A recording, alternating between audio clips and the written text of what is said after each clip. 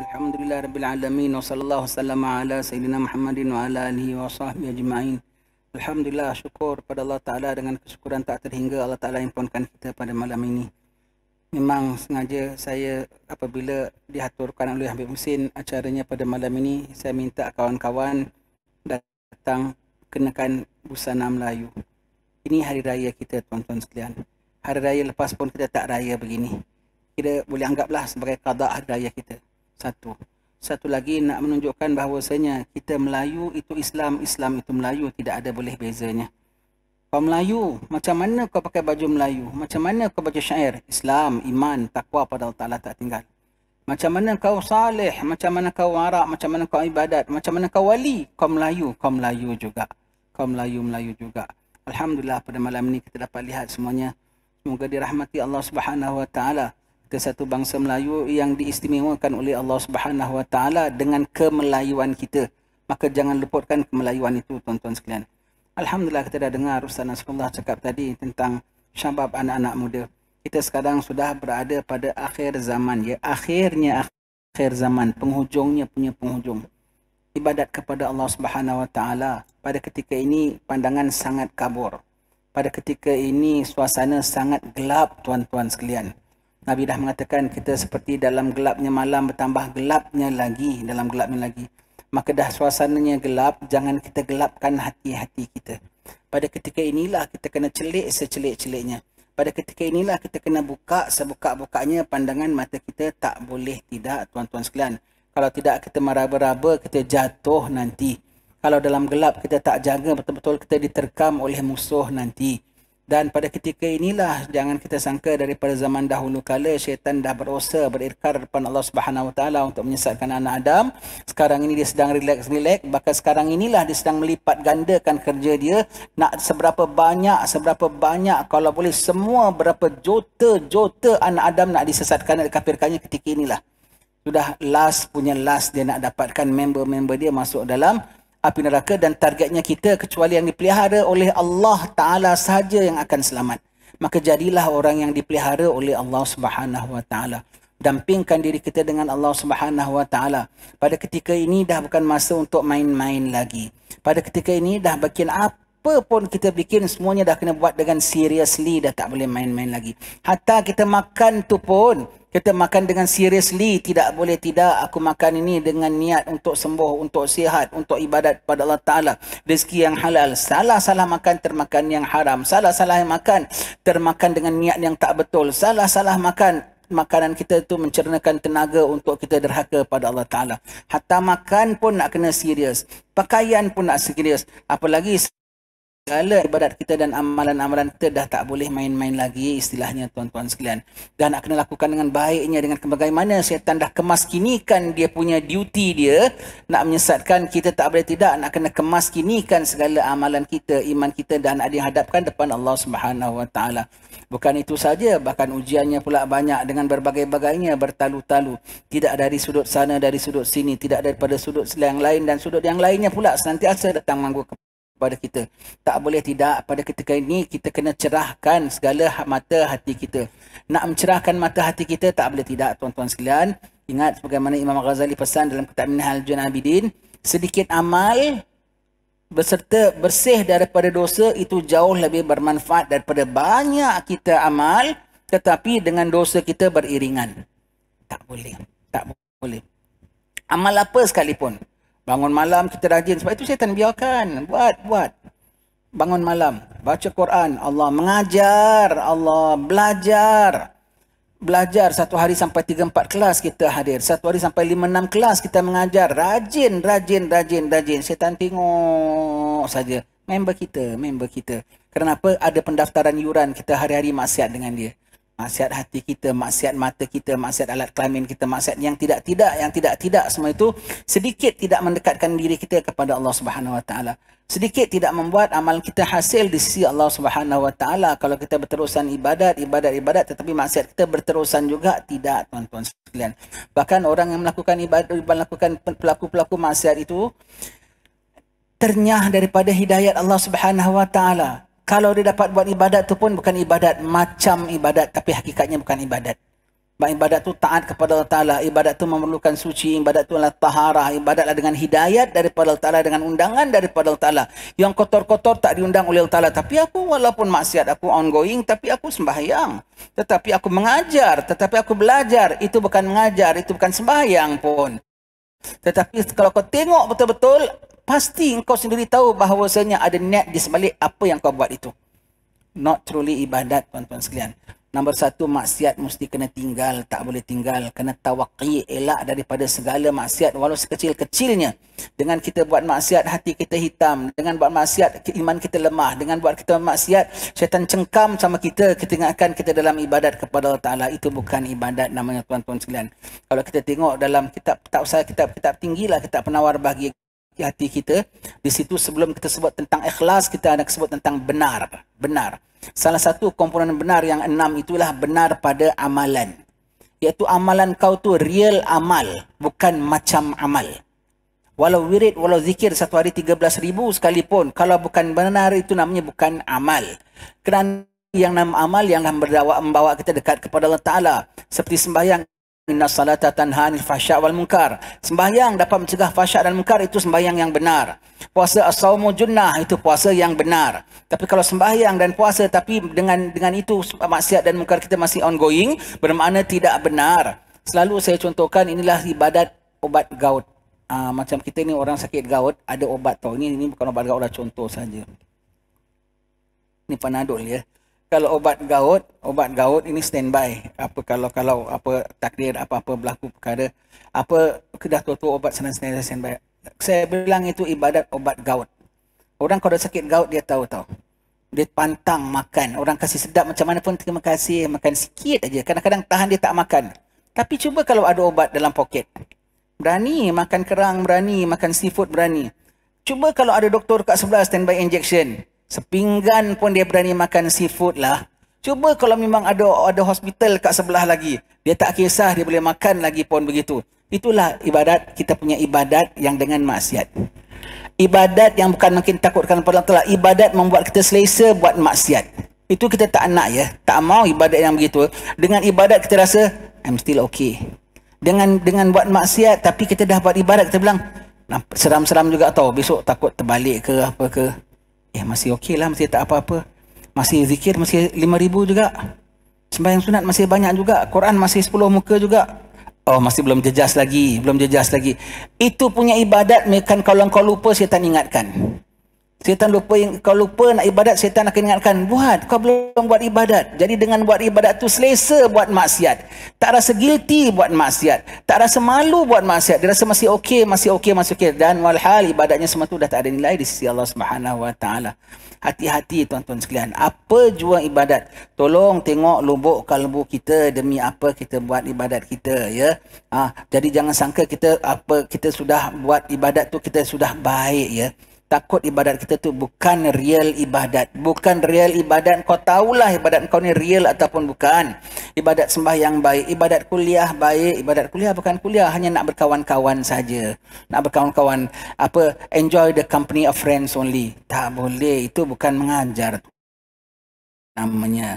Itu bukan mengajar tu namanya, itu enjoy tu namanya. Itu enjoy namanya. Hanya bercamouflage kan dengan kuliah saja. Bangun malam, bangun malam, itu ibadat. Bukan ibadat, hanya untuk kau feel shock seolah-olah aku ni dah sudah jadi wali Allah. Kalau yang tipu yang ini, yang yang kita katakan yang ibadat, yang dia, walau dia sendiri, orang tak nampak tapi dia sendiri munajat, itu riak yang terlebih halus selepas ujub. Riak ni ada tiga tingkatnya. Riak, kemudian setan tak dapat riakkan kita, dia ujubkan kita, tak dapat ujubkan kita di riak yang lebih halus. Jadi seolah-olahnya, kalau kita sembahyang, biar orang pandang kita, baik, bagus tak? Dia tak boleh, aku bukan untuk pandang orang, untuk diri aku. Eh, baiknya engkau, ibadat tak kasih orang pandang, jadi pada ujub. Tak boleh, aku tak boleh ujub, aku kenal Allah Ta'ala maka dia riak depan Allah. Dia sembahyang, dia pandang dia, dia, dia tengah imagine Tuhan tengah pandang dia hamba-Ku yang soleh tengah malam. Allah, dia riaknya pada Allah. Dia riaknya kepada Allah. Riak ada peringkat halus, na'udzubillah. Dan kita sangka kita ibadat itu. Dan kita sangka kita sedang ibadat itu. Tak boleh, tuan-tuan sekalian. Sekarang you must be real in whatever you do.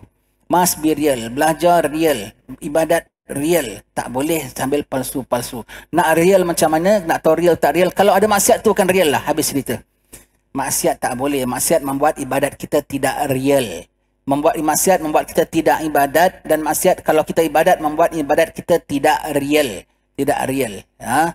Dan maksiat menggelapkan hati kita tak boleh terima message-message daripada Allah Ta'ala.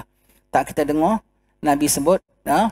Apabila zaman sudah semakin akhir hampir mimpi setiap mukmin adalah benar. Selagi benar lisannya, selagi benarlah itu mimpinya. Jangan kata mimpi pun boleh jadi benar. Syaratnya dua. Mukmin dan benar lisan. Mukmin. Mukmin tu apa? Mukmin ya mukmin iman pada Allah. Mukmin yang imannya senantiasa yazid, tidak asyik yang kus saja. Mukmin yang dimanifestasikan iman itu dengan amal, dengan buat suruh, tinggal yang tegak. Iman yang apa? Ya ayyuhallazina amanu, ya ayyuhallazina amanu apa yang ya ya ayyuhallazina taqullaha haqqa tuqatih. Yang berserta dengan takwa dengan sebenar-benarnya. Wahai orang beriman bertakwa kepada Allah dengan sebenar-benar takwa iman yang ada sebenar-benar takwa iman syaratnya iman mukmin.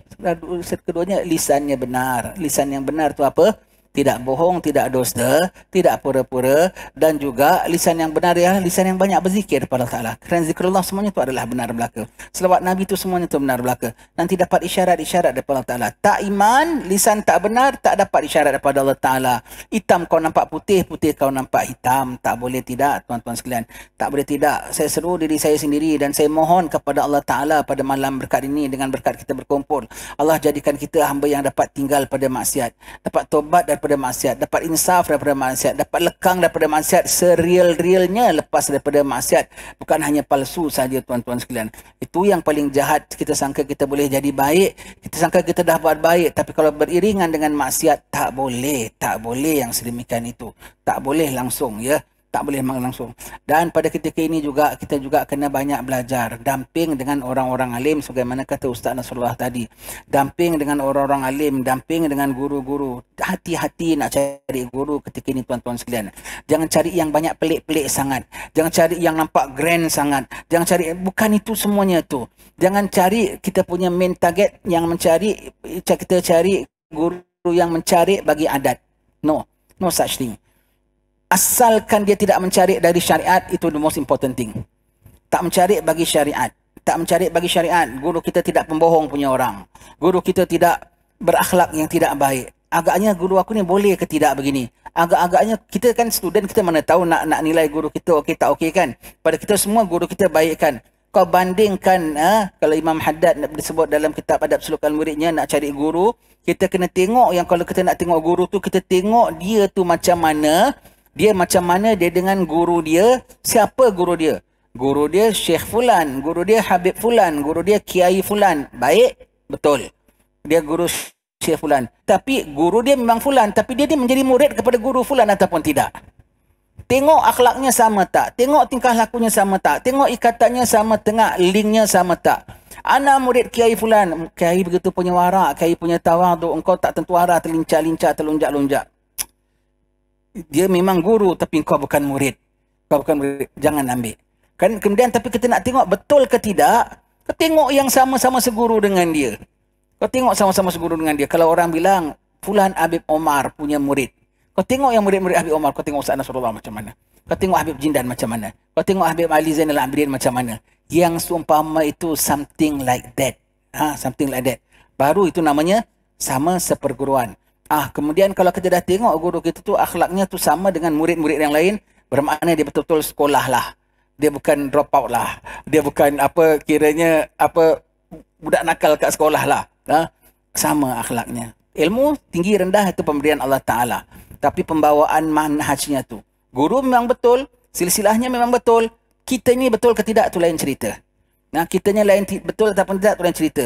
Maka kita cari guru tak payah nak cari yang pelik-pelik, tak payah cari yang ada mencari bagi adat boleh boleh apa baca hati orang lah boleh apa tak payah asal boleh baca kitab, baca akhlak itu lagi bagus. Ha, tak payah. Kita asal tak mencari bagi syariat itu penting. Tidak mencari mencari bagi syariat. Walaupun tak ada yang mencari bagi adat. Kemudian nak tengok guru betul agaknya betul tak betul guru kita sebab orang mengatakan ya dalam kitab apa adab apa penuntut ya. Adab penuntut tu apa talim talim ya kau nak cari guru kau kau pergi negeri Bukhara sekalipun Bukhara tu level tu Imam Bukhari punya level semua tu. Kau pergi negeri Bukhara sekalipun kau nak cari guru kau kena scan selama paling tidak dua bulan siapa nak jadikan syekhmu. Istilahnya not any Tom, Dick or Harry you take as your sheikh. Ya. Tengok akhlaknya macam mana. Walau negeri Bukhara sekali you mesti kena nilai macam mana. Dia macam mana. Dia dengan kawan seperkaluan sama dengan fulan, sama dengan fulan. Saksikan bahawa dia daripada gurunya fulan. Kemudian tengok dia ni dengan gurunya macam mana dia punya pengambilan daripada gurunya. Dan nak tengok lekat lagi, dia ni macam mana gurunya dengan dia. Macam mana kalau dia dengan gurunya senantiasa, bermakna dia punya cangkuk dengan guru dia tu kuat. Tapi kalau gurunya ada apa apa perhatian terhadap dia, bermakna cangkuk guru dia dengan dia pulaknya kuat. Tak lari. Baru kau pasang cangkuk. Tapi yang tergondel-gondel-gondel gini kau jangan ikut. Dia boleh terlepas. Dia semua tersangkut aja begitu. Bila-bila saja dia boleh jatuh. Hati-hati cari guru tuan-tuan sekalian. Semua nak belajar kan. Semua tengok pandang wajah semua cinta ilmu. Semua cinta ilmu. Hati-hati cari guru. Belajar tak boleh jangan-jangan tu ambitious nak yang pelik-pelik yang aneh-aneh.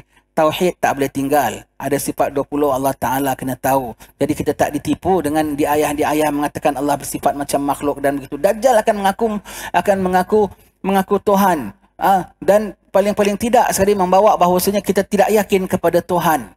Ah Allah begitu ya. Nauzubillah tak boleh tidak fiqahnya kena ajar, tak boleh tidak nak kena belajar akan fiqahnya seasas-asasnya. Sehingga Habib Umar bin Hafiz selalu sebut kalau dalam kuliah-kuliah ceramah Maulid kita sekalipun selit-selitkan sedikit fiqahnya yang asas-asasnya itu. Tak boleh tidak ah. Kemudian tasawuf yang halus-halusnya. Tasawuf yang halus-halusnya, yang cermat-cermatnya. Paling-paling tidak kita tengok apa guru kita tu ada bertingkah lakunya. Bagaimana Ustaz Nasrullah kata tadi yang zuhud belajar daripada zuhud daripada zuhud. Warak belajar daripada warak daripada warak semua tu. Kita nampak cermin daripada kitab tu daripada gurunya.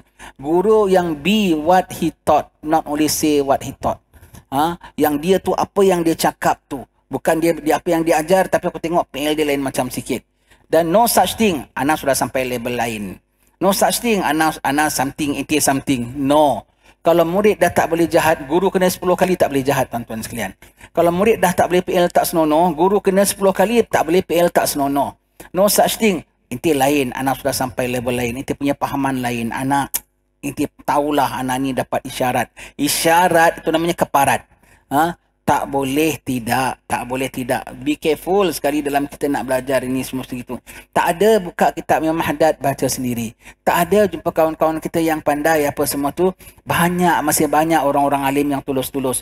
Masih banyak orang-orang alim yang boleh ajar. Asal kita jangan nak mengada-ngada sudah. Dan hati-hati kita tengok ya kalau kita nak belajar Imam Haddad sebut dalam kitab dakwah tamahnya ya yang orang sampai belajar belajar yang bukan-bukan terbelajar yang sesat terbelajar yang wahabi terbelajar yang bukan-bukan semua tu salah siapa? Dia nak cari ilmu. Tiba-tiba belajar satu guru mengajar benda yang tidak-tidak. Salah siapa? Salah dia ke salah gurunya? Salah dia in the very first place. Why? What you apply for that's what you are given dia punya belajar pasal apa? Bukan nak niat nak belajar, nak dekat pada Allah, nak kenal Allah, nak takwa Allah, nak taat Allah. Belajar kenapa? Nak choose-choose. Maka apa yang kau choose tu kau dapat. Belajar kenapa? Nak gengsi, tempat ini ada kelas, tempat ini tak ada kelas. Setakat dapat kelas saja. Ha? Belajar untuk apa? Untuk bidas, bidas. Belajar untuk apa? Yang kefasihan saja, fasih. Apa yang kau nak kau dapat. Pasang niat daripada asal, asal nak belajar, aku nak belajar. Ya Allah, kerana nak dekatkan diri padamu. Kerana takut azab siksamu. Kerana takut terlanggar segala tegahanmu.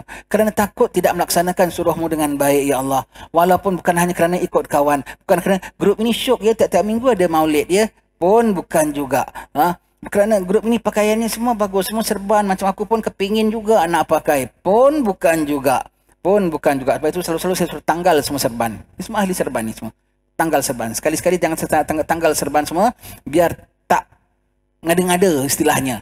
Ha, biar begitu semuanya. ya Allah. Ha, begitu tuan-tuan sekalian. ya Begitu. Hati-hati. Tipu daya sangat banyak. Tipu daya sangat banyak. Tak faham. Takut semua-semua. Istikharah. Minta tolong sama Allah Ta'ala. Kena rajin-rajin sembahyang malam. Rajin-rajin sembahyang tobat. Nombor satu kita bilang maksiat kena tinggalkan tak boleh tidak. Kita sudah dalam penghujung punya penghujung. Lebih-lebih lagi sekarang ni kita PKP dan dah agak longgar kan? Boleh bergerak sana bergerak sini. Hati-hati hati-hati. Memang kita syukur alhamdulillah boleh datang sini boleh jumpa boleh boleh adakan maulid apa semua. Tapi jangan lupa yang Nabi mengatakan kita ni dalam gelap.